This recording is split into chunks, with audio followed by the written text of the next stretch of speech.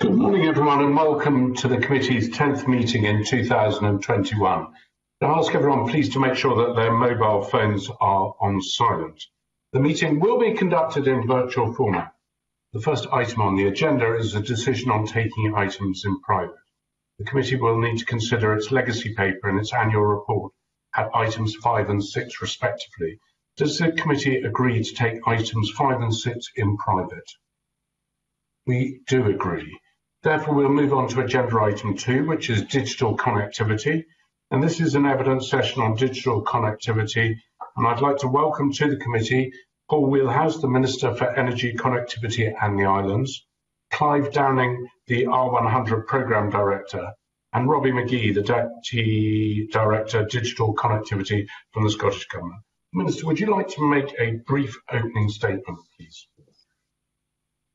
Thank you, Convener, and good morning to committee colleagues. Uh, as our COVID-19 vaccination programme provides some long-awaited light at the end of the tunnel, uh, so the Scottish Government's plans for economic recovery are brought into ever sharper focus, and I recognise, as we seek to ensure that this recovery is both a green and resilient one, that high-quality, future-proofed uh, digital connectivity will undoubtedly play a central role. And this is why, despite, um, as colleagues will be aware, all regulation and legislative competence in the area of telecommunications being uh, wholly reserved to UK ministers and the UK Parliament under the provisions of the Scotland Act 1998, we are seeking to accelerate investment in Scotland's digital infrastructure wherever possible. And this began with the £462 million uh, DSSB programme, Digital Scotland Superfast Broadband programme, which delivered on time, on budget, and went on to exceed our expectations, connecting over uh, 950,000 premises to fibre broadband which is 110,000 premises more than originally anticipated. Indeed, almost 95% of premises across Scotland are now able to access superfast broadband, up from just 59% in 2014. And this has delivered a, a, tremendous platform, we believe, which we're now building upon with our substantial investments in the three reaching 100% uh, contracts, uh, R100 contracts, and augmented, of course, by the Scottish Broadband Voucher Scheme. And when combined with uh, continued expansion of commercial coverage, which we are seeing, I'm glad to say, we're ensuring that everyone in Scotland can access superfast broadband. In fact, as a result of our efforts to incentivise investment in full fibre through the extension of non-domestic rates relief on our full fibre charter, the R100 programme has become in many ways a full fibre programme and build is now well underway in south and central areas and now mobilising in the north. Of course, for many homes and businesses in Scotland, mobile connectivity is equally vital and can be just as transformative, uh, particularly for those in remote, rural and island communities. And through our Scottish 4G infill programme, our £25 million investment will deliver up to 46 uh, new masts, bringing 4G to some of Scotland's most recognised hotspots. We have already made significant progress with 11 masts operational across six local authority areas and many more to follow throughout this year um, uh, and until 2023. In fact, I think there's currently 18 under construction and 11 in pre-build stage. Looking to the future, we're also investing uh, now to ensure that Scotland reaps the fullest possible benefits from 5G and secures our position as one of Europe's most, uh, what we'd like to think, forward-looking digital nations. We've also established the Scotland 5G Centre, which will deliver a national network of 5G innovation hubs to work with our SMEs locally to embrace, utilise and ideally innovate with 5G technologies. And earlier this month, the 5G Centre launched the Infralink project, which is creating a national best practice framework to facilitate the siting and operation of both 4G and 5G digital infrastructure on publicly owned land, uh, buildings and streets. Residential digital infrastructure is also crucial, of course, in enabling the movement of data, both, um, uh, sorry, resilient digital infrastructure, I should say, rather than resident, uh, is also crucial in enabling the movement of data both domestically and internationally.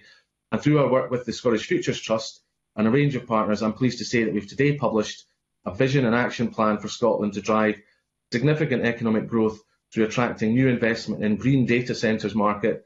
And potentially this will allow us to capitalise on the innovation from real-time data-hungry applications such as the Internet of Things, uh, big data analytics and artificial intelligence. So taken as a whole, uh, convener, I believe that each of our ambitious digital connectivity programmes will leave us uh, well placed to deliver the meaningful step change in di digital infrastructure. I know the committee is keen to see and that we feel is required uh, to ensure that all parts of Scotland can share in the benefits and that we can deliver uh, the, the, digital connectivity that, that Scotland uh, deserves. Thank you, Convener. I'm happy to take questions from you and your colleagues. Thank you very much, Minister. And we will go now to questions. And the first questions are from Colin Smith. Colin. Thank you, Convener, and, and good morning to the panel. Minister, can I begin with just some, some questions on the central and south lots of the, the R100 programme? Just, just briefly, for the benefit of the committee, can you confirm that, that the central lot procurement will connect 32,000 premises, with 79,000 of these fibre to the premises, and the south lot will connect 21,000 premises, with 100% of these fibre to the premises? And could you also confirm that both lots are on schedule to be completed by 2024, with the majority of the work being carried out by the end of 2023? Uh, thank, thank, you, Mr. Smyth, for a question. It was very, very helpful to um, just put some of this on the record. Uh, so uh, I can confirm that through the, the R100 central lot contract, will connect, as the members just said, just over 32,216 32, premises to superfast broadband. 95.6% um, of the central contract build will now be full uh, fibre to the premises uh, rather than the 79. He is correct, and members correct that 79% was the figure we initially started with when we were negotiating with uh, BT, and we've had, uh, I'm pleased to say, further discussions with the UK government, which resulted in four and a half million uh, pounds being invested in the uh, central contract area by UK ministers uh, to help us flip 5,400 of those premises that would have been fibre to cabinet to fibre to premises. So there's been a marginal cost that that um, UK government ministers have topped up, if you like, to to get them all the way to being full fibre to, to premises. So that's very welcome development. So that takes the total spend in that contract area to 87.5 million in terms of public investment, uh, 83 and a half, 83 million through the original award of the contract and four and a half million extra from UK ministers. And through the R100 South lot, which I know will be of great interest to, to Mr Smyth, uh, being a South representative, we will connect indeed 21,000, just under that, actually 20,740 premises to uh, superfast broadband. All of that uh, build will be indeed be full fibre to the premises, so it's uh, full fibre gigabit speed uh, connectivity for for uh, those premises in the south. Uh, and in terms of timing, we remain on track to complete contract build in central and south lots by 2024 as, as the member has said, with the majority, the vast majority of the build completed by the end of 2023. So I hope that helps uh, clarify the questions Mr Smyth has asked. That's very helpful, Minister, and I'm sure everyone appreciates that, update on the numbers. Uh, now, you said in your opening comments that, progress on the ground is being made in the central and south lots. Could you maybe expand on that and tell us how many premises each lot have so far been uh, connected uh, and have any of the, the payment milestones yet been achieved? Um, just yes. Um, in terms of the, um, uh, the, the progress in terms of premises being connected, I can say that BT is making substantial early progress across central and south areas. Uh, as the committee will be aware, uh, delivery of these contracts uh, represents a, a, massive sort of civil engineering project in its own right. So there's extensive survey and design work that, that goes ahead before any builds uh, actually done on the ground. But 262 premises have now been connected in total so far. That's 252 in the south, um, started in Biggar, now sort working out from, that area, um, 10 in the central area, uh, in Auchterarder, I believe, and we expect to see a, a steady increase in number of premises connected in the south and central lots in the weeks and months ahead. And just to give a kind of sense as to what we'd expect in the next uh, wee while, in central we expect around 500 premises to be connected by the end of March and almost 3,200 by the end of 2021. That's uh, 10% of central lot contract build in the South Lot, we expect around 1,800 connections to be delivered by the end of June uh, this year, and just over 4,900 by the end of 2021, which is 24% of the South Lot contract build. And of course, that's all full fibre. Any premises um, due to be connected through the contracts after the end of 2021, I know Mr Smyth is aware of this already, but just for the benefit of any viewers, are eligible for the Scottish Broadband Voucher Scheme, the um, interim voucher, which we may talk, touch on later um, which uh, would enable them to access a super fast service while they wait for uh, full fibre. Uh, and a number of payment milestones have been achieved across all three contracts. It is early days in terms of the, the spend. Much of this relates to completion of the detailed survey work in a number of build phases across both central and the south lot areas. And obviously that work is now about to get underway in the north as well, uh, and as well as achievement of monthly premises targets. But the programme is, uh, is, is um, structured such that payment for build is in arrears of the build, so we wouldn't expect uh, significant payments to come through until uh, the next financial year, where you've probably seen figures in the budget that give an indication of, of the scale of, of, of likely spend in 21-22. That's helpful, Minister. Thank you for that. Now, your update, Minister, suggested that the R100 is now going to connect around 50,000 um, properties using fibre to the premises in, in the central uh, and south Scotland area. But the vast majority of households uh, are still going to rely on the commercial rollout uh, if they're going to benefit from full fibre. So shouldn't the government be doing more to, to break down some of the barriers to progress that, that companies face? For example, mandating full fibre to all new build properties and also improving the ability of companies to access private and public land uh, to carry out infrastructure work. This is obviously a particular problem in Scotland given the higher level of telecommunication poles that are on private land. Indeed, um, Mr Smyth, you raise a very important point, and that is something that um, we are aware of in terms of the electronic uh, communication codes um, that um, is relevant here in terms of the positioning of, of overhead infrastructure on uh, you know, private gardens in Scotland. You're quite right that that is much higher in Scotland than it is in other parts of the UK, and it's something we're in active discussion with UK ministers about, and indeed feeding into the uh, the, the, the, consultation on the electronic communication code to, to raise this issue. UK ministers, we don't, as, as, as, as Mr Smyth will know, have any um, legislative locus on, on the regulation of the market, and we, we obviously rely on engagement with UK ministers to get across Scotland's needs in, in these discussions.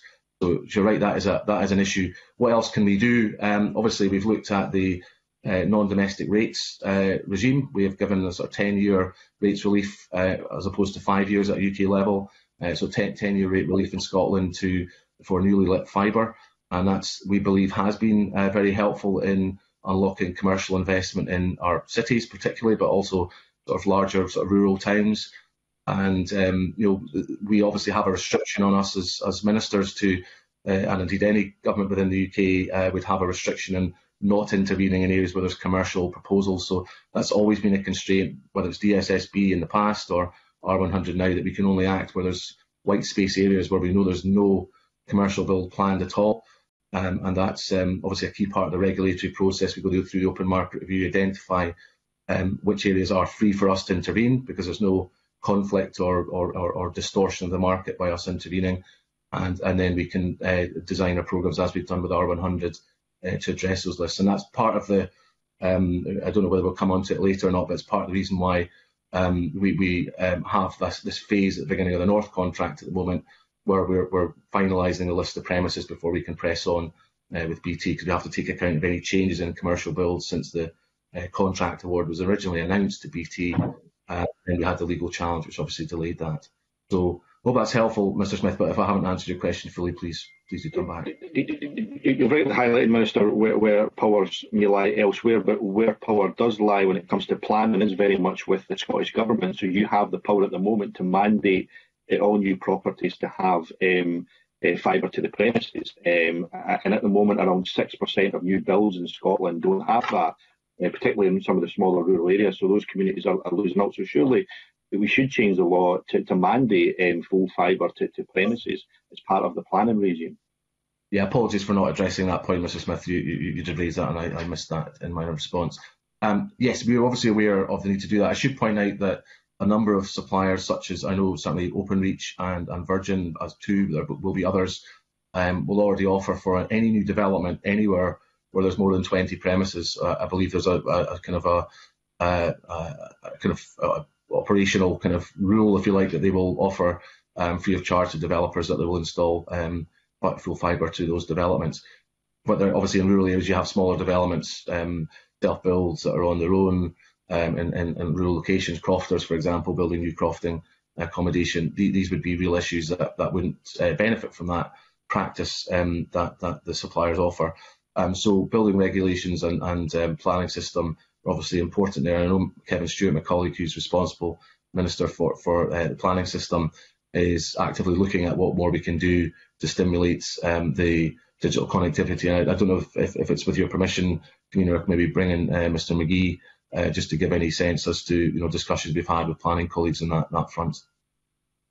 Yep, Robbie. Yeah, thank, thanks, Minister. I mean, just to confirm, I mean, it's very much a live issue. We know that there's activity at, at UK level in terms of legislation, um, and I think as we've tended to do before, we've always looked to, to go at least match or at least go further um, than than other parts of the UK, so that we we do create that environment where um, full fibre is uh, you know is maximised. So it's, it is an ongoing discussion with uh, planning and building standards colleagues, um, and, and, obviously uh, ministers will take a view on that in due course. Thank you. Uh, we'll move to the next questions, if we may, which come from Richard Lyle. Richard. Thank you, Convener. Uh, to follow on for Colin Smyth's question, Minister, um, and we want really need to clear this up Broadband is not a devolved matter and is wholly the responsibility of the UK government. Am I correct in saying that? It, all legislation in regards, regards, to telecommunications and regulation of telecommunications is respons the responsibility of UK ministers, yes. Um, we've used economic development powers to intervene um, in, in, trying to find a solution for what we regard as market failure. Uh, but you know, under the Scotland Act 1998, 1998 um, all telecommunications uh, policy effectively is, is reserved to UK ministers. So because of their failure to improve the broadband throughout the, the throughout Scotland, the Scottish Government have taken that matter on board. Am I correct saying that? That's that's my interpretation. Yes, Mr. Lyle. Um, we we have an, you know thank you for raising the point. Um, it's not a direct criticism of current ministers. Obviously, they've inherited a situation uh, that of their predecessors.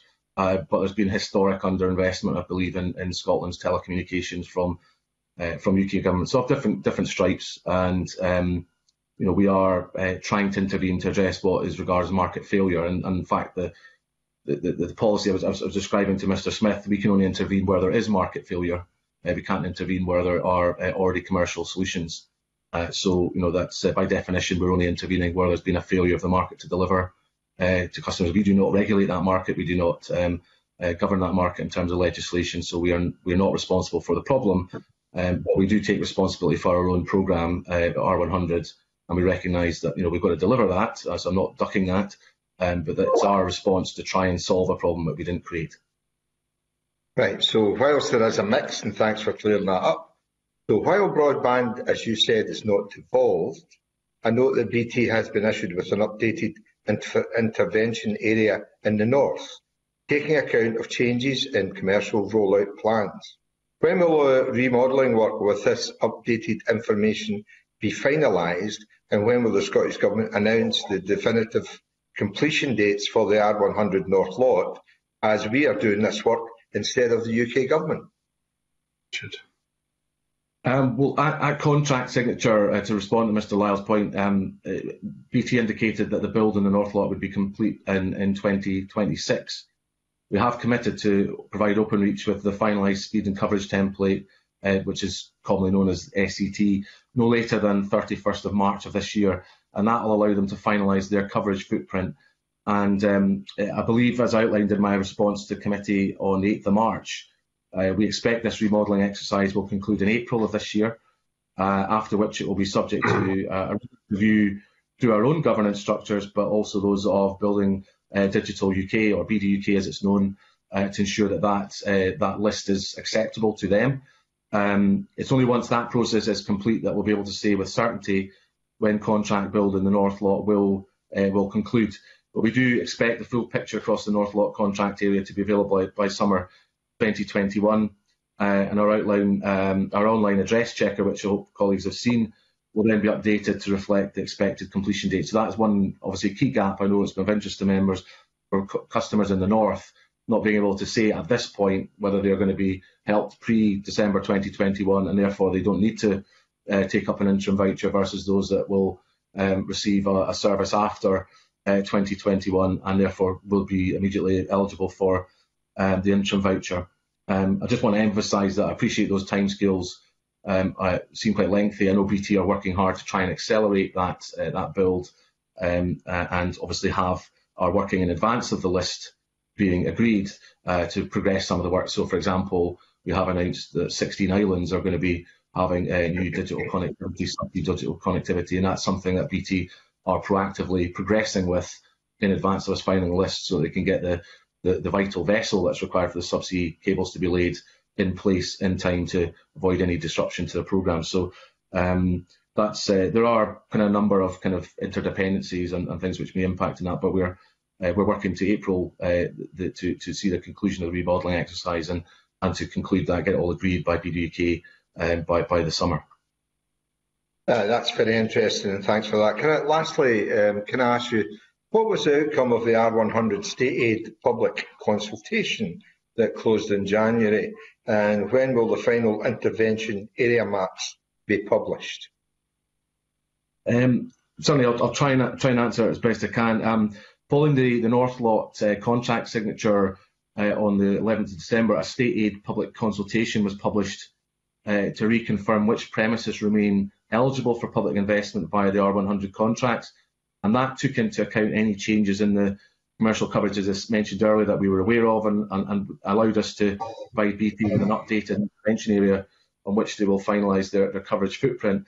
Um, the consultation closed on the 24th of January of this year uh, with 10 responses received, and that included responses from two providers who had not previously provided data.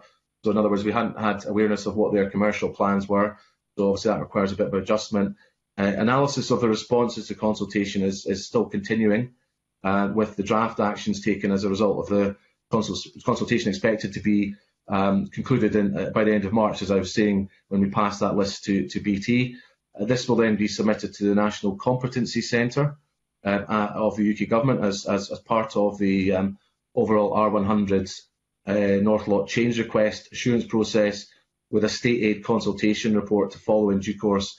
And we, we then expect um, full picture across the north uh, to be, as, as, I say, to be available by summer 2021 uh, with our online address checker updated to reflect expect, expected completion dates and the final intervention maps will then be published in the report referred to above.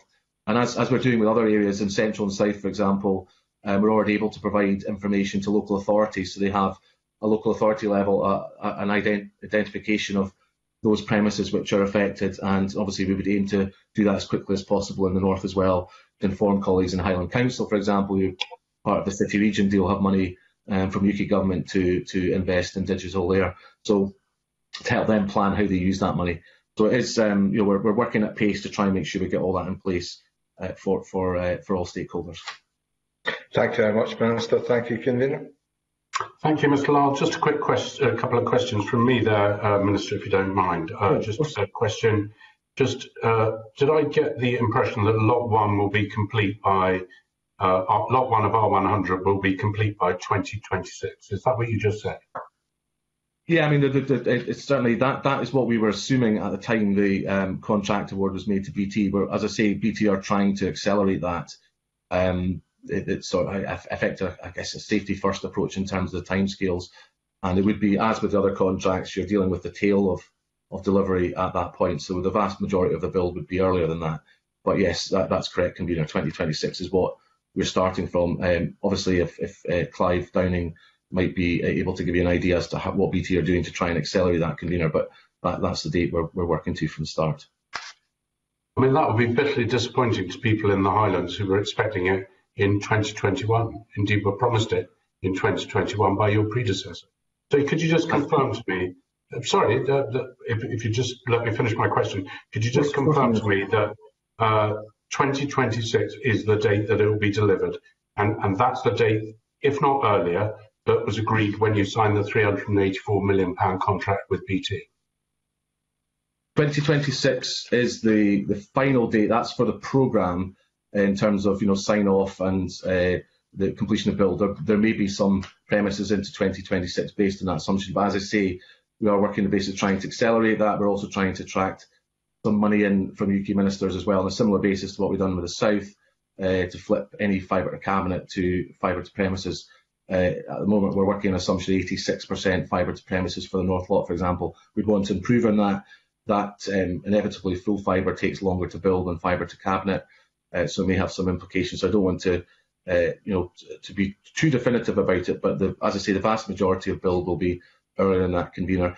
Another thing I would say in relation to your point around Fergus Ewing and the, the previous commitment, previous commitment was for superfast. Now, it would be very easy for us um, in many respects to, to have an earlier completion of the programme had we gone for um, a, a, product um, or range of products that delivered just super fast um, services at 30 megabits or more per, per second. What we're going to see, as I say, is 86% in the North Lot getting full fibre, which is 1,000 megabits per second. It's a future-proof solution.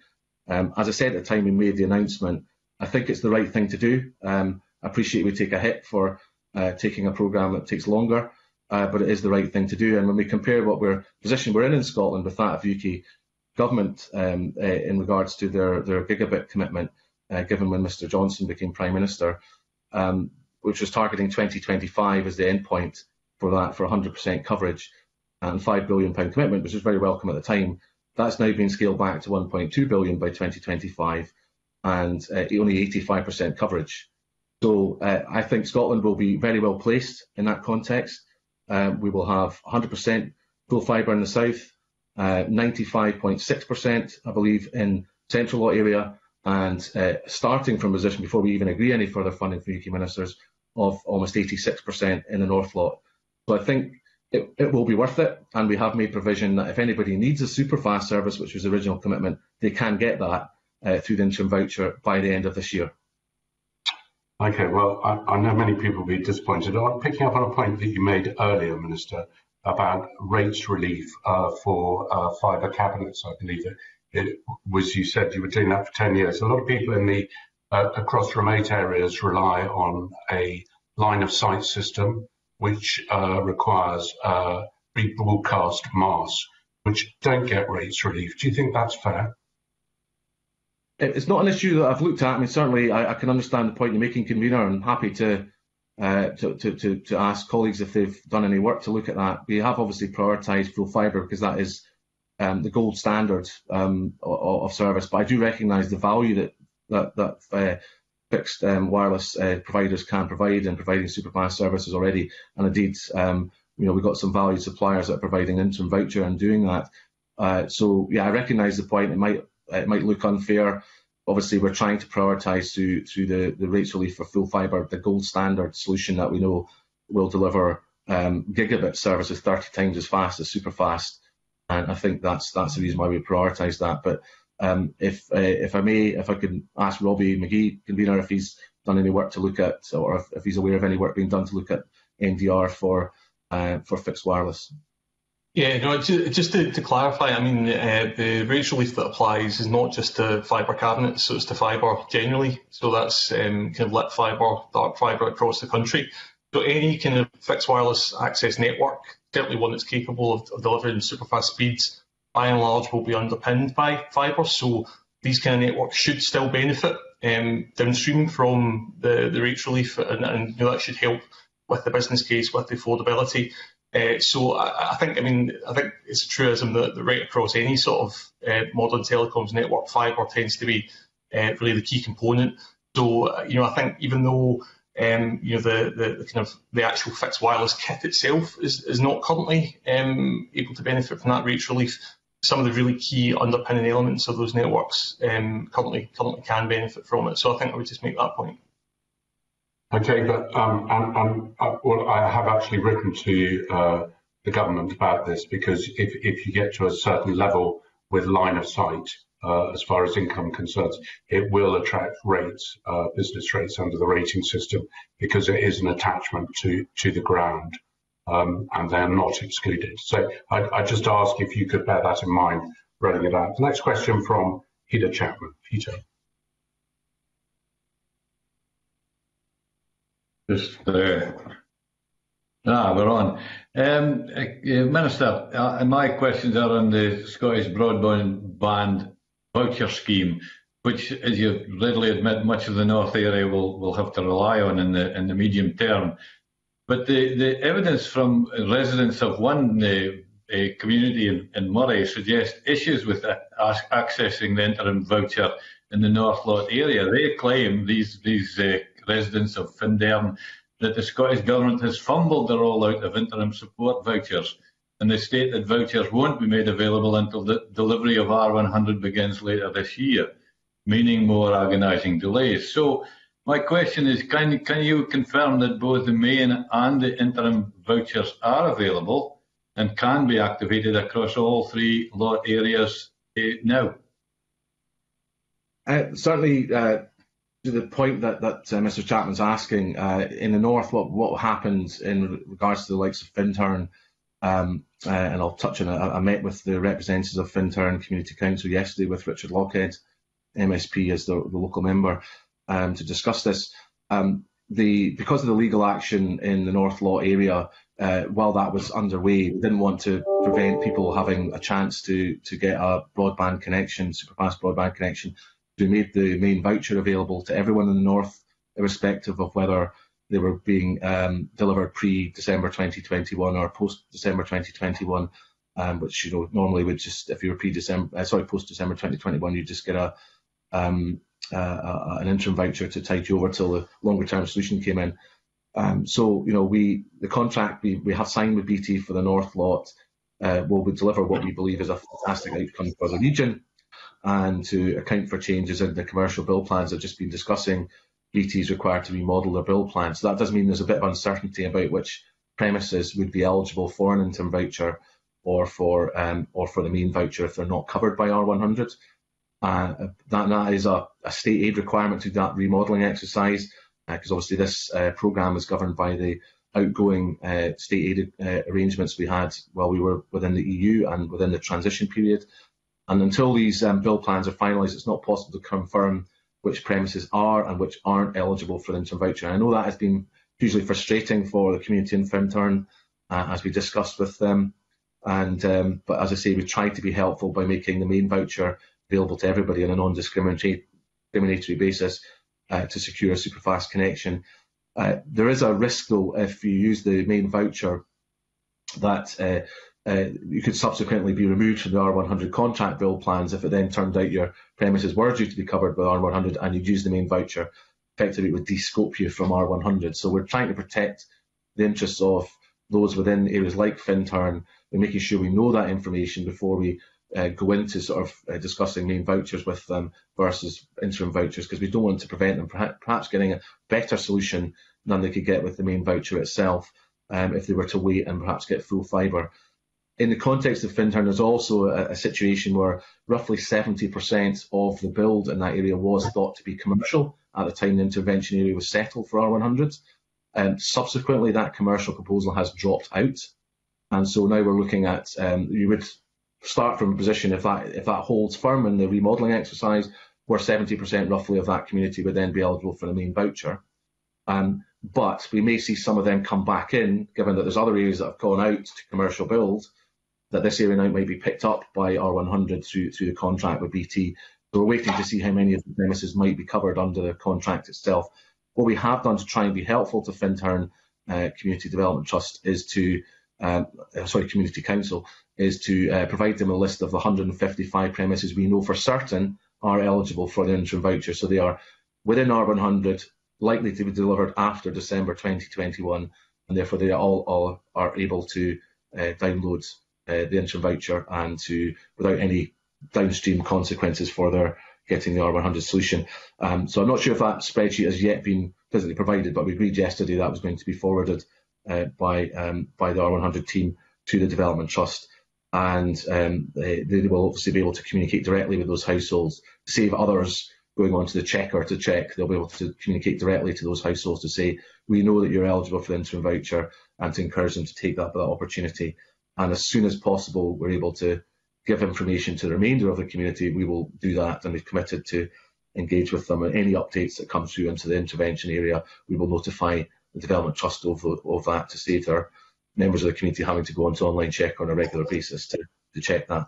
Hope that's helpful, but I mean, it's um, we're trying to be helpful in making the main voucher available, but we are now seeing data coming through, beginning to come through that we should be able to start um, identifying those that are eligible for the interim voucher who we know we are going to get an R100 solution in, in the well, I think if the answer, I mean, we have to, to a large extent uh, focused on one one village in Moray, but I, I assume there will be there will be many communities right across the north that are in a similar position.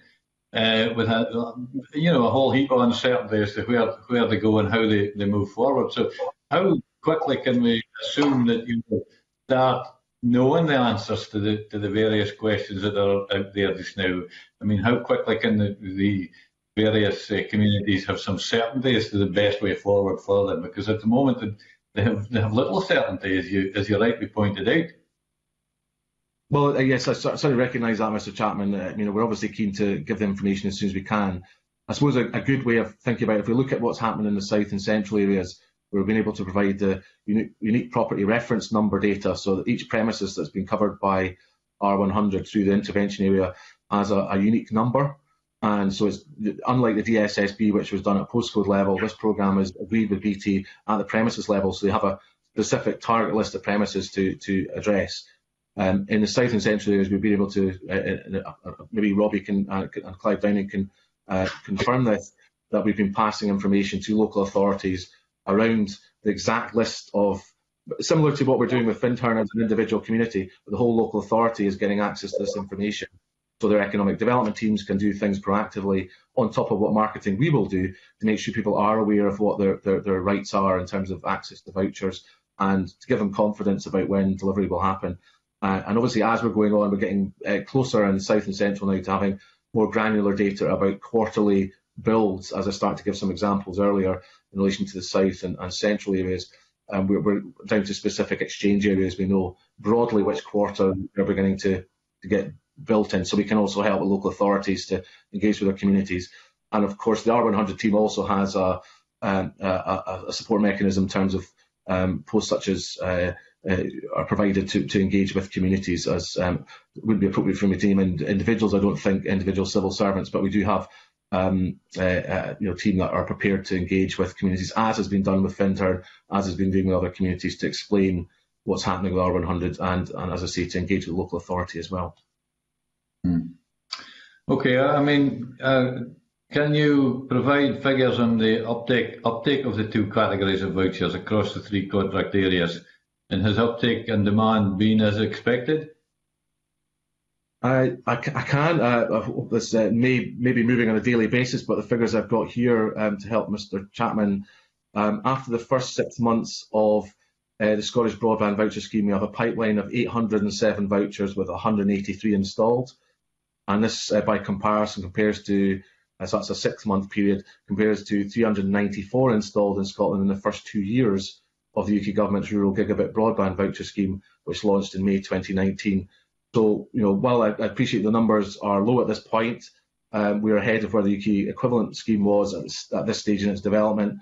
Uh, but we know we appreciate there's more that needs to be done to bolster take up. So um, we are working with all the suppliers that we've registered with the, the Scottish Broadband Voucher Scheme to give them the most accurate picture of eligible premises so they can also target areas themselves with marketing and try and generate demand and we're also working to raise awareness of the scheme amongst the wider public. And we, um, it's, it's probably too early for people to have received them, but we've recently begun a, a targeted postcard campaign uh, to direct people to more information and encourage them to apply targeted at the central and south areas given the uncertainties in the north. We want to obviously make it as straightforward for people as possible to get connected through the voucher scheme. Uh, we know it can sometimes be a bit overwhelming in terms of uh, the choice and, and, and, difficulties people have in terms of navigating all the information they might have presented to them. Uh, so we want to try and make that choice as simple as possible between suppliers or indeed technologies such as fixed wireless, which we've discussed, or satellite or 4G broadband, or indeed in some cases, um, full fibre has been delivered through, through vouchers. Um, we already know which suppliers are active in each local authority area, and we'll continue to work to improve that user experience, um, including taking on board feedback from users on the experience in using the, the voucher scheme itself. And as I say, uh, as I mentioned earlier, so not repeat the point, uh, but just to say we're providing that data to local authorities on the, uh, the unique property reference numbers that um, that will then uh, guide them to be able to sort of uh, make sure that local local communities are aware of what they can do to help themselves. Just, just one final point. I mean, you've 807 applications across Scotland. Can, have you a breakdown as to the the, the, the, three different uh, build areas. Do you have that uh, information? Uh, I, I, think I do. I'm just checking. Yes, I do. Um, I, so I hope this all tallies up in terms of the table.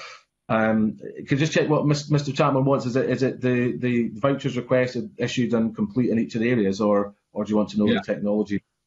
No, no. Um, in, in essentially, so in the central area, uh, apologies if I wasn't meaning to speak over Mr. Chapman. In area, there's 74 being requested, um, eight. Uh, this is main vouchers, sorry, 74 main vouchers um, requested, eight issued, and six six completed. In the north, 109 requested. Um, confusingly here, I've got 129 issued, so I'm not quite sure why that uh, we've got a higher number issued than requested, but maybe that's something that the officials can clarify for me. And 55 completed. Um, in the south, we have 28 requested, 42 issued. So again, there's that issue there seems to be the wrong way around, um, and three uh, completed. So in total, we've had 211 requested, 179 issued, and 64 completed. On the interim vouchers for the central area has been 11 requested and 19 issued. So I think again that maybe the columns are transposed and inst installation completed in 20 cases. Uh, so there's obviously something not quite right there. Uh, in uh, the north, uh, there's no interim vouchers being requested, issued or completed as yet. In south, uh, six requested, 10 issued and four complete. But um, well, I've got totals here of 17 requested, 29 issued, and 24 complete. So there's obviously a bit of an issue. Convener, I may just ask if I can, my officials, just to explain if there's a reason for that. Uh, it, it might be helpful because those figures don't work, but I'm sure Robbie's going to leap to your defence and tell you that you've read them out the wrong way around. Robbie. No, no. Well, I think there are. I mean, I'll get Clive to, to confirm. I don't have the, finger, the figures in front of me, but I, I think the distinct blocks. So the ones that have been requested are the ones that are currently requested and are working their way through the system. The ones that have been issued are ones that you know have, have come to fruition. So I think they are distinct numbers. They're not cumulative. So I think that's.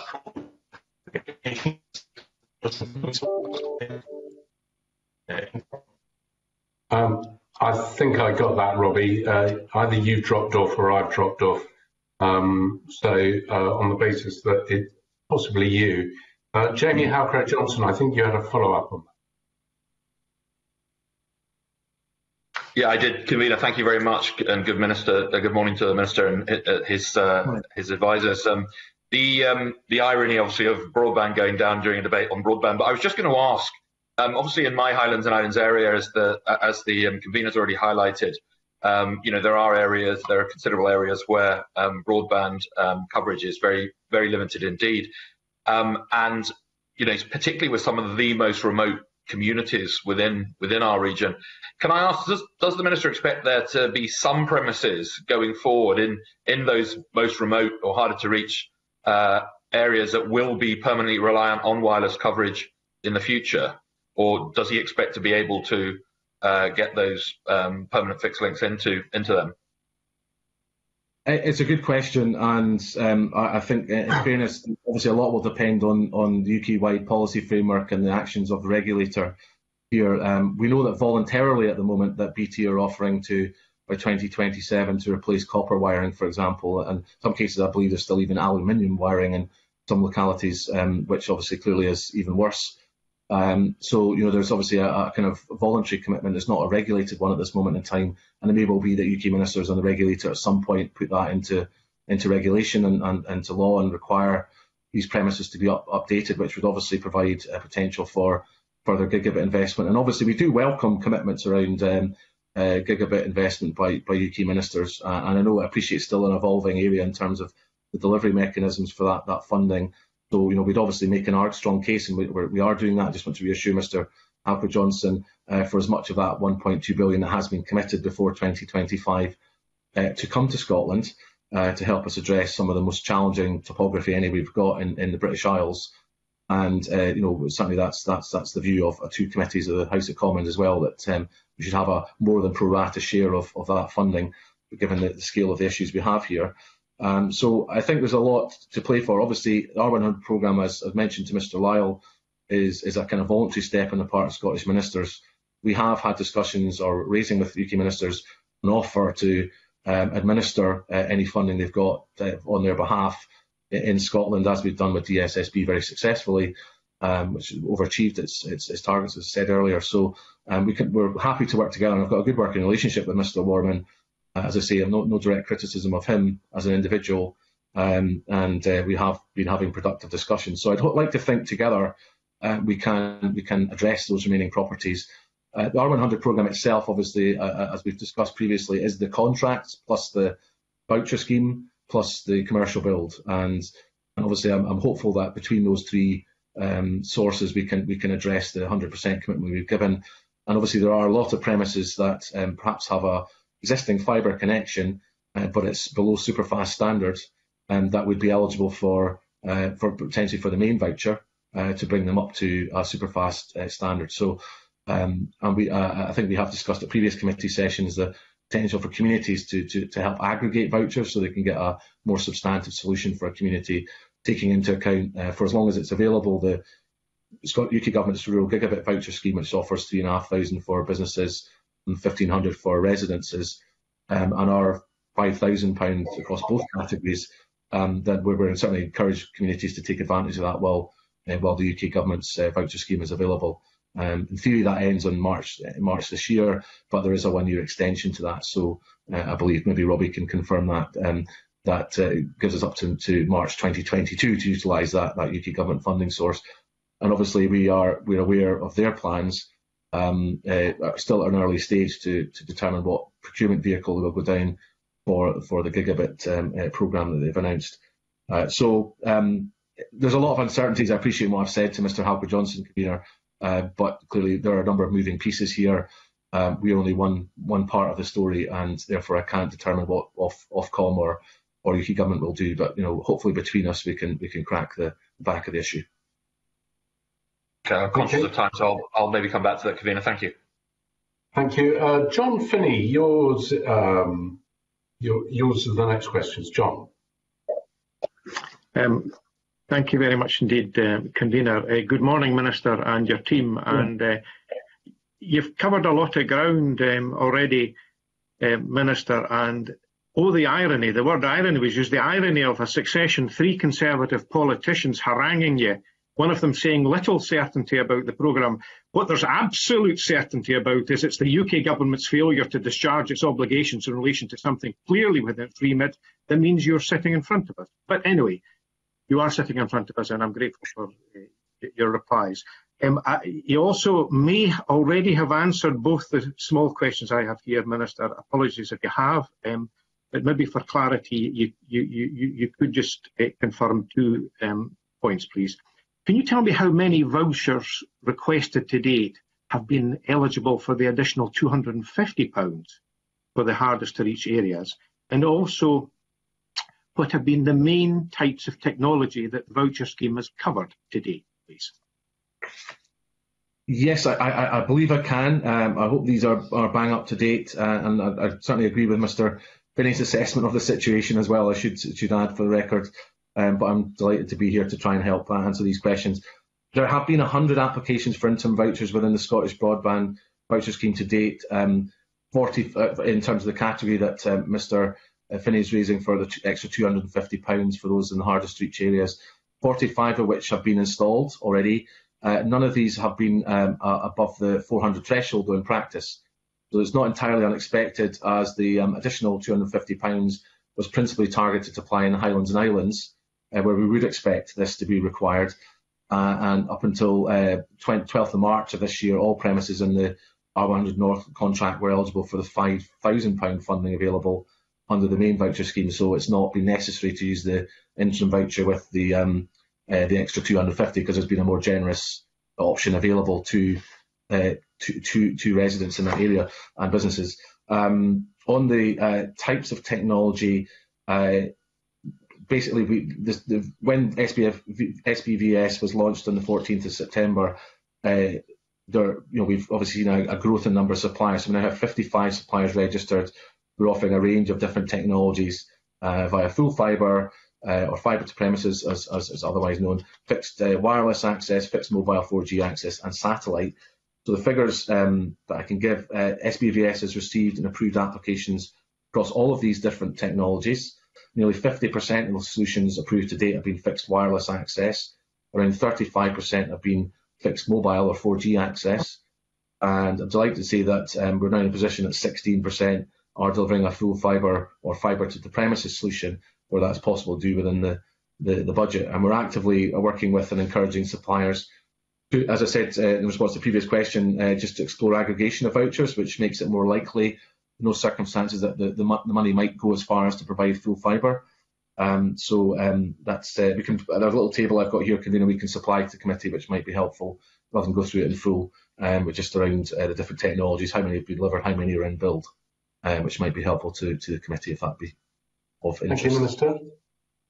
Uh, uh, Convener, just a, a, brief supplementary, if I may, to, to, to the Minister. And colleagues will know I'm not remotely technical and I get a bit dizzy with all the terminology.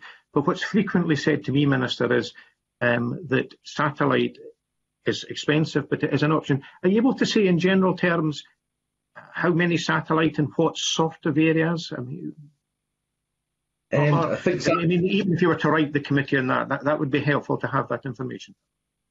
Of, of, of course, we, we, we could provide more detail. Um, satellite has been just, just 1.3% of the, the, the vouchers used to date. Um, it has improved dramatically over previous generations of satellite technology, and you can now get uh, you know consistently good sort of upload and download speeds. I know there are some uh, conditions around conditions of use around things like you know gaming and uh, and streaming, which may apply in certain products. But um, we'll certainly get some more information to to the committee, unless um, uh, Robbie or or, or um, Clive can add any further detail right now. But certainly, regardless of what Clive and Robbie can say, we'll, we'll provide some more information to Mr. Finnie and the committee. Minister, uh, rather than bring them in, and I'm, I'm sorry, I'm just conscious there are quite a lot of questions still to come. So if you could send them to the committee, that'd be very helpful. John Finnie, is that is that you complete, John? Uh, that, that's me. I have some later on. Thank you, convener. Thank you, uh, John. Emma Harper, I think you've got some questions now. Um, yes, thanks, convener. Good morning, everybody. Good morning, Minister. Um, morning. In, we in uh, this session we took a, a, or we considered a petition um, about uh, the situation in the, the settlement of Lade, where the fibre network cable passes through the village, but the residents weren't able to be connected. But um, you've given very comprehensive responses so far, I think, about how vouchers work and how the postcode checker works. And you've also talked about how to how the government's supporting people to get access in the most simple way, because um, I, I think that's obviously a challenge. And in your answer to Mr Lyle's question, you described the fact that the Scottish Government are using economic development powers to support getting people connected. And when that really is the, you know, the obligation of the UK government.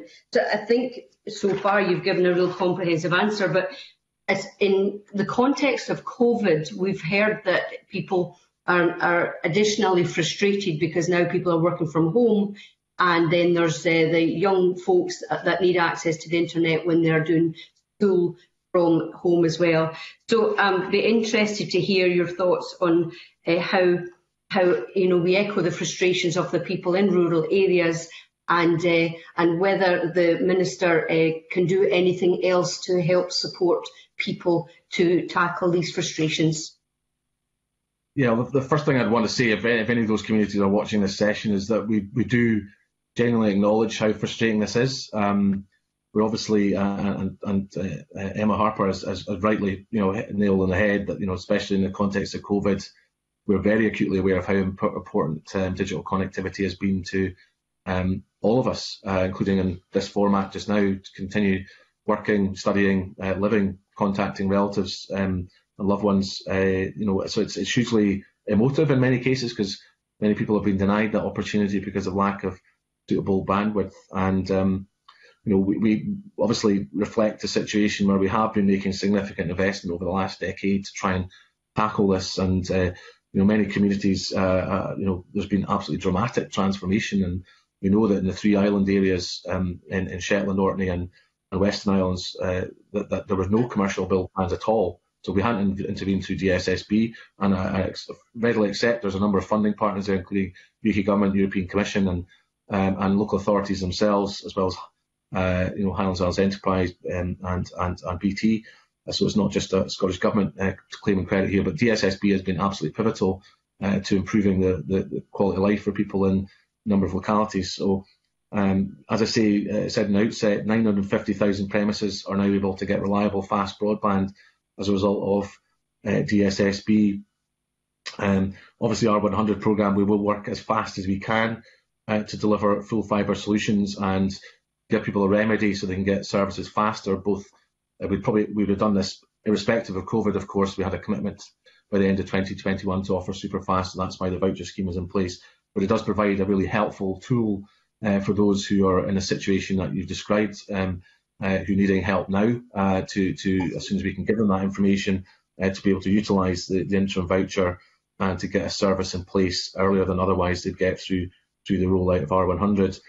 And we're also investing through the S4GI um, uh, uh, or Scottish 4G infill programme to give its full title uh, to 46 remote locations where there are not spots and mobile connectivity, which I know in places like New Luce, which uh, down in Galloway, and I, I was uh, fortunate to end the opening of that with uh, Ms Harper and other local stakeholders.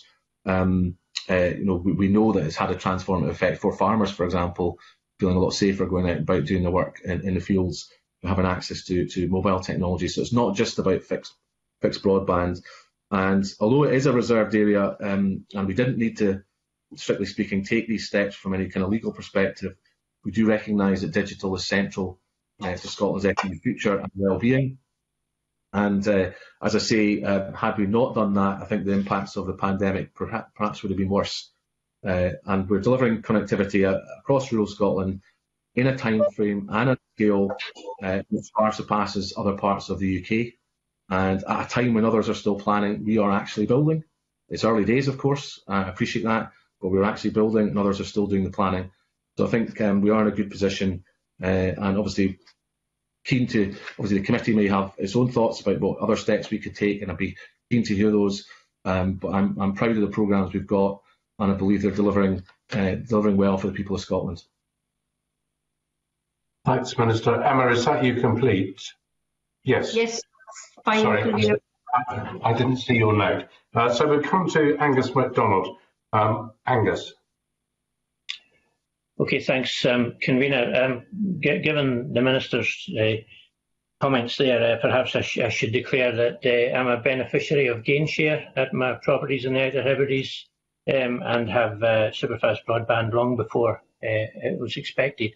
Um, so following on from um, Emma Harper's theme regarding community frustration, um, you'll be aware, Minister, of outage issues for mobile networks. Um, and the committee has received uh, correspondence from people who've been having issues with sustained disruption to mobile networks in, in rural areas, not least in Argyll and Bute.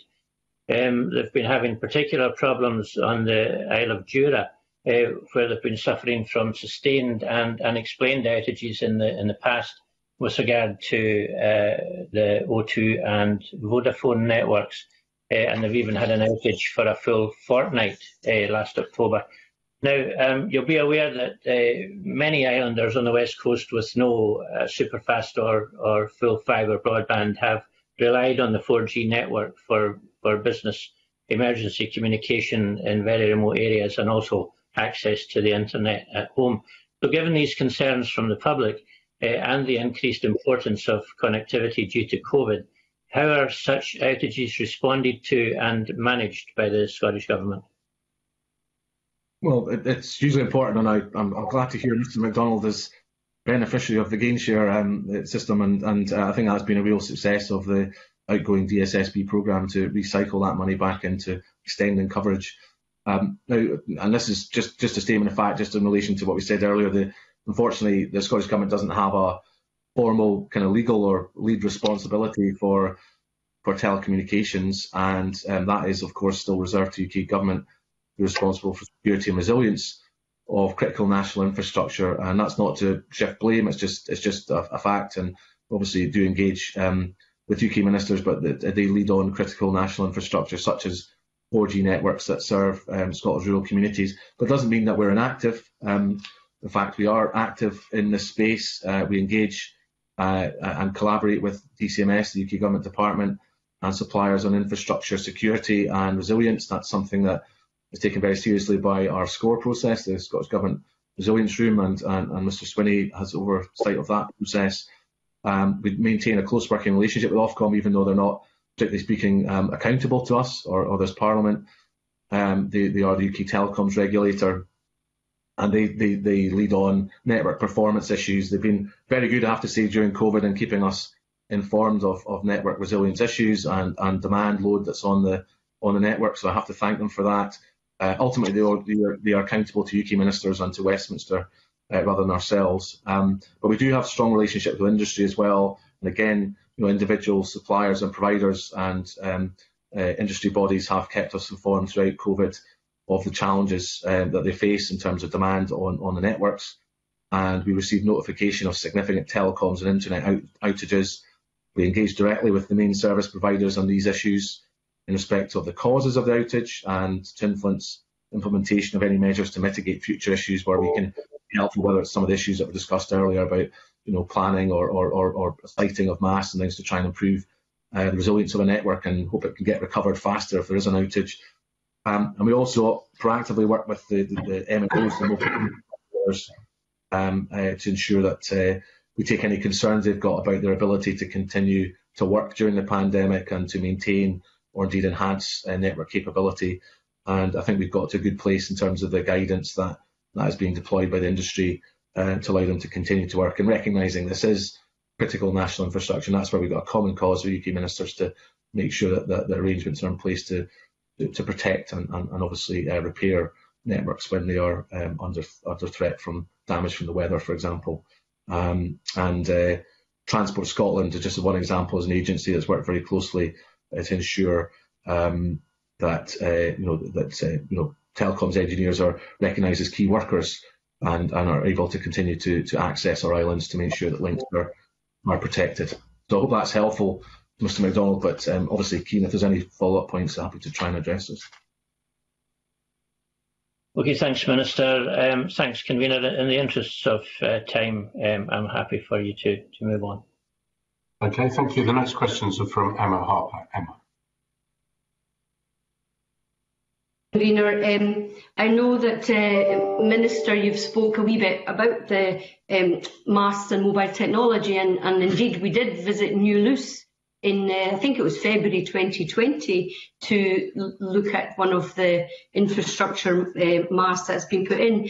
And so, just a couple of quick questions. The 4G infill programme was intended to deliver 45 new mast sites by 2022 are the targets of 45 new mast sites and the completion date uh, still accurate? Uh, yes, uh, that that that is um, certainly my understanding that uh, we are um, going to see broadly, broadly the, that program um, stick to time. Uh, I'll just give some figures that might give a bit of context here. Uh, it, we believe it can be considered a huge success, but obviously the committee may take a different view. But projects to extend um, mobile coverage using public money are, are, obviously far from straightforward because of the complexities of the commercial market. And uh, the committee, and, and, Ms Harper might recall the UK government's um, mobile infrastructure project of some years ago, which after a lot of fanfare and a lot of excitement was only able to deliver just three masts in Scotland. Um, and so despite the impact of the pandemic just been discussing, the 4G infill programme remains on track to complete up to 46 masts now, um, 11 sites are already live, including New Luce, uh, and delivering 4G service across rural Scotland. And I've, you know, despite the pandemic, I've been delighted to see that, that work carrying on. Uh, more locations are expected to go live over the coming months, uh, including a number in uh, the south of Scotland in terms of uh, Dumfries and Galloway. And we have a steady pipeline of build activity and site activations over the rest of 2021 through to 2023. So there has been a little bit of slippage um, at the end of the programme. Uh, but just to give some figures, there's 11 built, as I say, 19 in build at the moment. So that takes us up to 30 in total that are either built or in build, and 11 are in, 11 are in pre-build, so a total of 41, and we're still working on final sites just to complete the programme. So there's some going in and some coming out, depending on whether there's been a lack of commercial interest in taking a mast or there's been planning issues, such as being one location where planning was refused by local council. Um, so um, there's a bit of tweaking at the edges, but I'm, I'm confident we're, we're, we're doing really well in the programme. It might slip a bit into 2023, but I think the outcome will be an excellent one for all those communities that benefit from it. Emma. Thanks. Um, thank you. Um, and just a question on the, the budget that was allocated in 2021-2022 for the delivery of Scotland's 5G strategy. Um, um, how much funding was allocated for that, Minister? Um, well, in, in terms of the budget for 2021-2022, uh, you'll see in the budget data there's a, a, the vast majority of the 98.2 million that's set out in the budget for digital connectivity will be spent on R100 itself. Uh, but the budget also includes provision for the rollout of the Scottish 4G infill programme, uh, as I say, which is a 25 million pound programme, and uh, circa 4 million of the support uh, for uh, within that total is for the Scotland 5G Centre. Um, so it's obviously seeking to maximise the economic impact of 5G, as you may know, and there's a number of key, uh, key projects which are being undertaken. But this also includes some provision for the delivery of the 5G innovation hubs that the, the, the 5G Centre have announced. Um, so um, uh, I hope that is welcome uh, for the committee. Okay, just a final question, uh, Minister. You've just mentioned the, the 5G Connect hubs. Um, how many will we have, and do you know at the moment where we will be located? Uh, I'll give some information if I can. Uh, it may not be exactly what um, uh, Ms Harper is asking, but I'll try try and be as fair as I can. In the programme for government, we announced 4 million, as I say, for the 5G Centre to deliver a network um, of 5G innovation hubs through the, what's called the S5G Connect programme. And this will be a national network of 5G innovation hubs, which will work with um, local SMEs to embrace 5G, develop use cases on a private 5G testbed um, network, and give them the skills they need to use 5G technology as a, a business enabler, because obviously digital has been seen as in some respects, not just a sector in its own right, but an enabler for all other sectors. And our aim is for the network of hubs to act as a catalyst to place Scotland at the forefront of the next generation of wireless communication services. So um, substantial progress is being made on the programme and discussions are progressing with host institutions uh, around Scotland about sectors and locations that could benefit from 5G. The first of the hubs will definitely be in Forth Valley and will be operational by May of this year. Uh, but I can also confirm that a further two locations will be announced shortly. I, I, don't have those details yet myself. I don't know whether Robbie or Clive can, can elaborate, but uh, we'll hope to announce those two, two hubs shortly. Okay, thanks. Um, yeah, I just hope one of the hubs will be in South Scotland somewhere. So thank you, convener. Thanks. I'm sure the officials will have heard that loud and clear, Ms Harper. That was almost a constituency question, but nicely glossed over. Um, and Richard Lyle, you've got a supplementary, and then I'm going to come to John Finnie. Uh, Richard, briefly, please.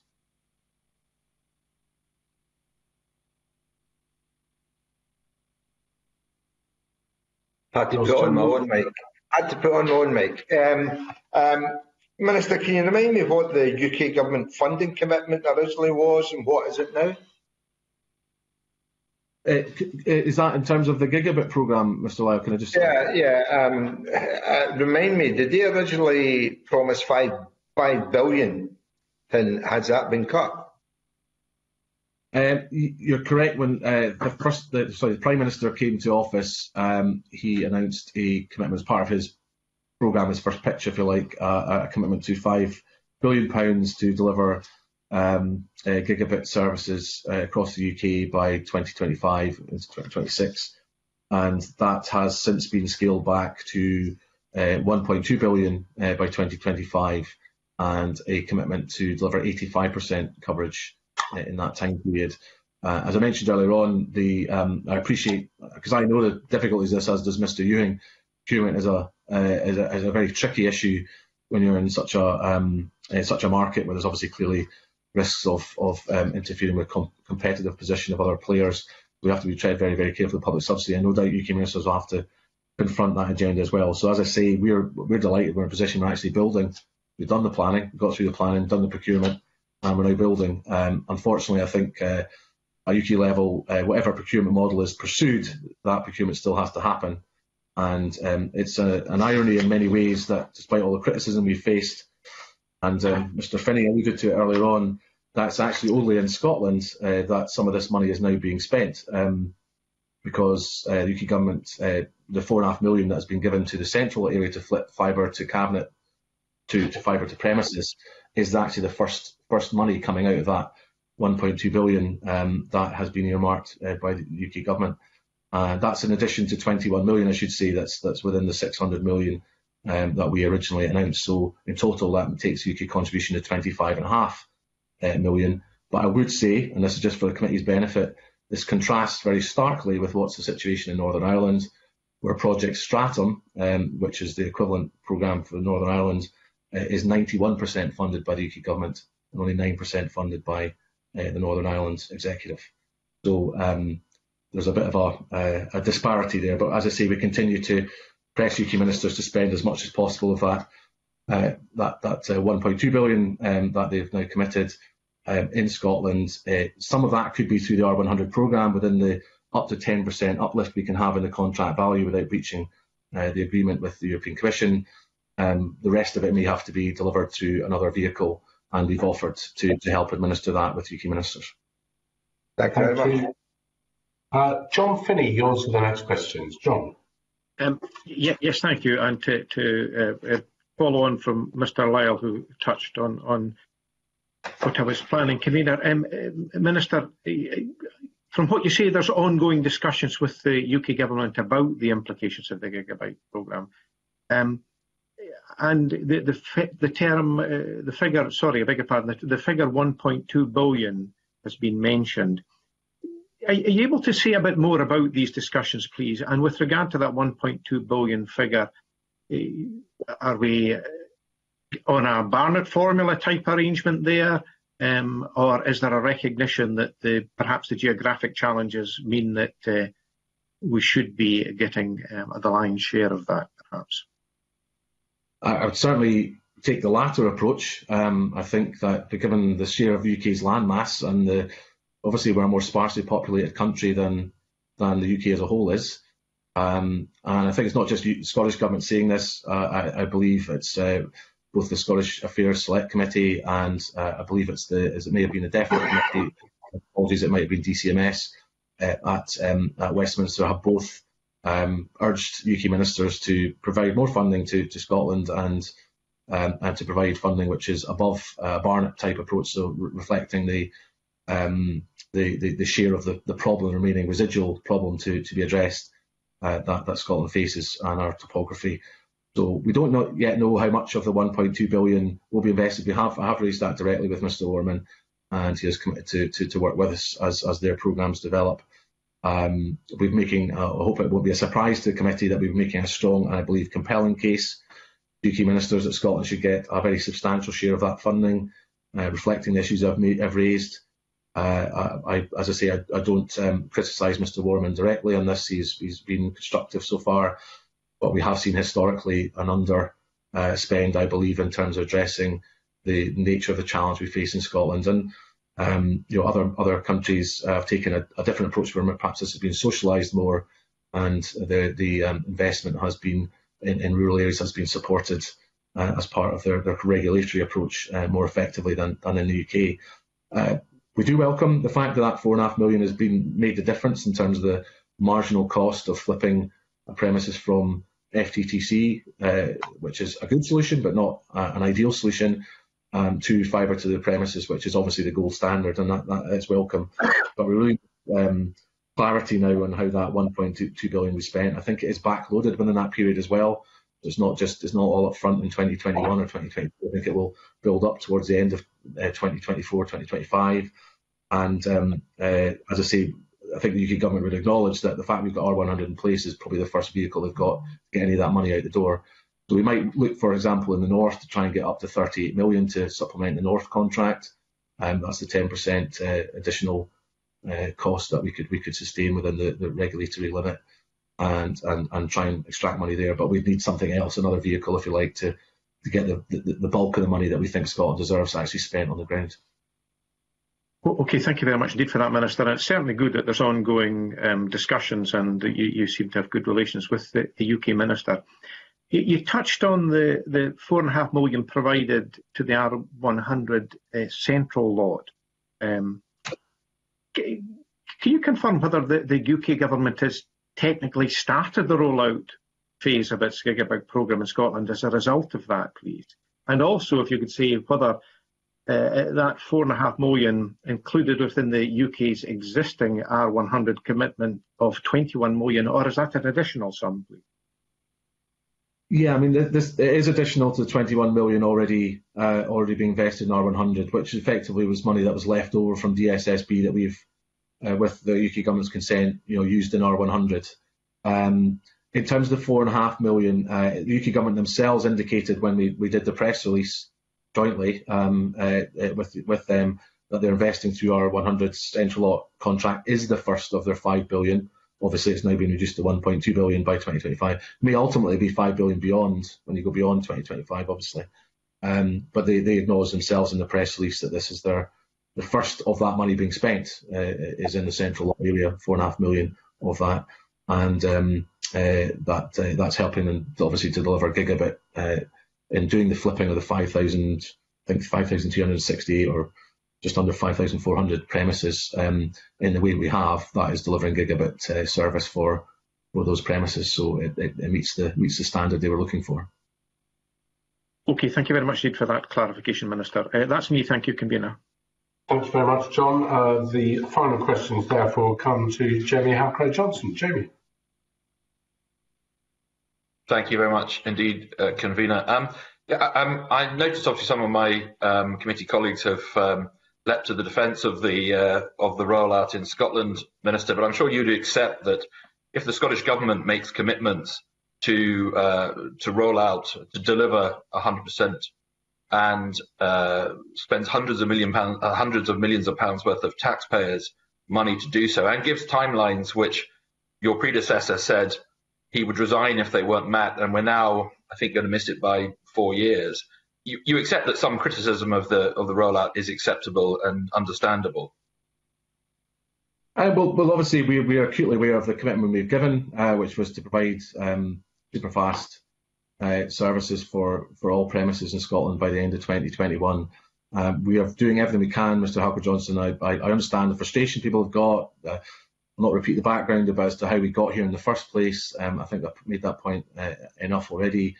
Um, but you know, we are trying to intervene to fix a problem we didn't create, and we have committed to the end of 2021. We're trying to honour that through the voucher scheme because we've made a conscious choice. Um, and I appreciate it's not one that everyone will agree with, uh, but faced with the choice of of going for, you know, super fast only coverage and probably being able to deliver that very fast or much faster do the kind of technologies we're talking about earlier on, like fixed wireless or, excuse me, um, satellite or 4G broadband, or indeed in some cases for fibre to premises.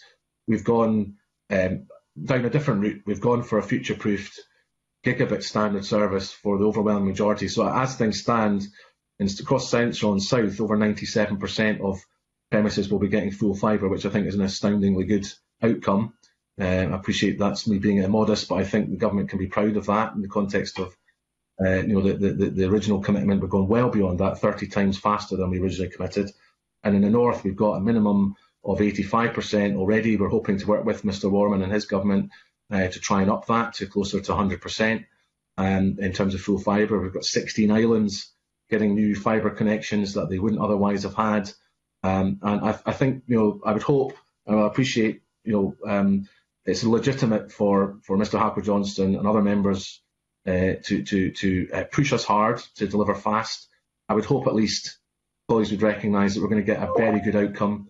It will take longer than originally forecast. Uh, when Mr. Ewing was in charge of the programme, the, the commitment was super fast. Through the procurement, we've been able to deliver something better. And I take that on the chin that we've ended up with a different outcome than perhaps Mr. Ewing anticipated. Um, and uh, you know that I've made a conscious decision as minister to go for that future-proof solution. So I hope that you know I'm being open and honest about that process, convener, and um, and that I believe people can have faith that the outcome will be a very good one. And we obviously have a job to do to try and pick up those that aren't covered by R100. And uh, obviously the vouchers is one way to do that. We hope to unlock money from the UK government as well to supplement that to try and get, uh, you know, uh, again, a future-proof solution for those that aren't currently covered by R100 or commercial build. And um, I, I, certainly commit to Mr. Halcro Johnston and others that um, uh, that the government will work constructively to try and achieve that. Uh, thanks very much for that, um, Minister. And I mean, I think we all want to see um, see these schemes kind of operate because that that 15% that uh, are missing out at the moment often missing out on other connectivity issues and other infrastructure issues as well. Can, can I just ask you a very quick technical question? Um, it was in regards to the uh, rural gigabit connect, connectivity program. Um, and although there's a commitment looking to extend this, I was just wondering what implications for the rural gigabit connectivity top up that's provided to the main voucher in the Scottish broadband voucher scheme there is and what discussions you've had on that. Yeah, certainly it's, it's something we have raised. It's a very good point to, to discuss. We're fully aware that the um, there will be changes to the UK level voucher scheme at the end of the month. That's that was always programmed to be the case. It's not something that's been done, as far as I'm aware, on the hoof. Um, we've not had detail of those changes yet confirmed by UK ministers. Uh, as I say, we've got a good relationship with them. I'd hope we'd get that detail in good time. Um, we are certainly, for our part, continuing to offer the full 5,000 uh, Scottish Broadband Voucher Scheme main voucher, and we hope that will be uh, obviously of great use to communities and for as long as the rural gigabit um, connectivity voucher scheme uh, or whatever form it takes, um, uh, if it's relaunched next month, they'll be able to kind of partner up in that way that we've we've done already. And it's expected the the new BDUK scheme will be targeted to more rural areas and to exclude those premises that are likely to receive commercial rollout. So um, it's identified uh, as being in Area 2 as set out by Ofcom in its wholesale fixed telecoms market review 2021 to 2026 consultation. We can get further detail to committee on that if that'd be helpful, convener, to save you are searching for it. Um, but we hope that premises um, in rural areas that were eligible for that previous UK voucher scheme will remain eligible with the new scheme and that we can continue, as I say, to, to buddy up and partner up uh, the two voucher schemes to try and have maximum effect. Uh, which you know that's that's a positive outcome from the, the, the warm discussions we've had, Mr. Warman, that he recognised that there was a common sense in working together on that, and I, am grateful for that because it's um, hopefully been a good outcome. And I think as things stand, there's only two local authority areas in in the UK that have a higher figure for uh, for, for for voucher value, and um, we, have got one of the most generous schemes anywhere both in terms of the, the value, but also the we don't cap our scheme. So other local authorities have maybe got a physical cap on the amount of money they can spend. We've not capped it, so it's demand led, and we'll, we'll continue to meet the demand as best we can. Thanks for that, Minister. Uh, Convener, do I have more time for another question, or are you? Because I'm conscious of the where we are. As long as you're brief and the minister's brief, yes. Okay. Well, I'll ask. I'll ask this. This last one. Um, the uh, telecommunications infrastructure leasehold property bill is soon to receive royal assent. Could you tell us very briefly what impact this will have on the delivery of digital infrastructure in Scotland? I'll, I'll, do my best and I'll try and keep this brief, convener. Um, the Act uh, received royal assent on the 15th of March, so just uh, this week. It seeks to address a long-standing issue around deployment to multi-dwelling units or blocks of flats. At present, the operators are required uh, required agreement of all landlords within a block to deploy infrastructure, and stakeholders have told us that in some cases, landlords don't reply to requests to negotiate a way leave agreement. We'll see some, some are more organised than others, uh, or just may choose to, to not reply. Um, so we welcome the legislation which will allow operators to apply to the Sheriff Court of a time-limited agreement imposed where landlords do not respond to repeated, and I stress repeated requests to negotiate an access agreement. And this will have a, we believe, a positive impact on the rollout of broadband infrastructure, multi-dwelling units or blocks of flats, and um, reducing we hope the legal cost to operators and also the delays caused by unresponsive landlords, clearly given the committee's strong sentiment that in COVID, we've learned that this is really important for people. If it wasn't already important, it's doubly important now. Um, that we think this is a helpful step to try and ensure that people get access to digital um, infrastructure quickly and um, more quickly than they otherwise would. Thank you, Minister. Thank you, Convener. Thank you very much. Um, um, Minister, that comes to the end of our questions for you and your team today. So thank you very much uh, thank you for, for those answers. We'll move on, if we may, to agenda item three, which is subordinate legislation. the aim of the third agenda item is consideration of subordinate legislation, three negative instruments as detailed on the agenda. The Delegated Powers and Law Reform Committee considered the three negative instruments and no issues were raised. No motions to annul have been received in relation to these instruments either any member wish to have any comments on these instruments? Not seeing anyone. I therefore propose that the committee does not wish to make any recommendations in relation to this, these instruments. Does any member disagree with this? No. And therefore that's agreed. Uh, the fourth item on the agenda is the uh, we've received consent notifications in relation to five UK statutory instruments as detailed that are agenda item four on the agenda. These instruments are being laid in the UK Parliament in relation to the European Union Withdrawal Act 2018. These instruments have been classified as type 1. Do members have any comments on these instruments? I'm not seeing any comments. So subject to uh, incorporating the comments that have been made in the briefing paper um, regarding the uh, short notice um, and technical changes and, and uh, provide information. Is the committee happy to write to the Scottish Government confirm its contempt for the consent to the UKSIs referred to in the notification to be given? We are agreed. Um, therefore, um, just before we move it into private, I would like to say a few words, um, as I do not believe that the committee will be meeting next week in public. Um, I've enjoyed my time and it's been a great privilege to spend five years as your convener on the committee and I would like to personally thank all committee members, present and past ones, for all the help they've given me. It's not always, always easy marshalling 11 people uh, in the same direction and, and, that might include myself. But I also want to wish uh, Mike Rumbles, Richard Lyle, Peter Chapman, Stewart Stevenson, John Finnie, Angus, and MacDonald Maureen Watt the best of luck in the future, providing it's not campaigning against me, um, then I do wish you well and thank you very much for all the work that you put in. And it would be wrong at this stage if I didn't just briefly mention uh, one or two other people, and that namely are the clerks who supported the committee during this session. It is very easy uh, for a committee to be seen to move effortlessly through business, but it's only possible to do so if the clerks support the committee in the way that they've done. Um, Sam, Alex, Jenny, and Bashtosh and, and, Michael have all supported the committee, and I think we owe them a debt of gratitude for the uh, paperwork and uh, papers they prepared. Now, those that will notice there is one person who has remained off that list, and that is Steve Farrell, who is the senior clerk. Um, and the reason why he remains off that list is because he, he has been a true disappointment to me in that in his answering machine message, he still refers to being a clerk to the previous committee that he has been on and not the committee he is on at the moment. But when I've got over that, um, and it's taken me five years to get over it, and also to excuse him for not making that change, I do actually believe we owe a debt of gratitude to him for all the work that he's done uh, to marshal his team to support us. So I'd like that to be officially recorded in the record and to record our thanks. And I'm now going to move on into private session um, and uh, we'll do that now. And therefore I close the meeting. Uh, suspend the meeting. I, I'll get it right eventually and move into private. Thank you.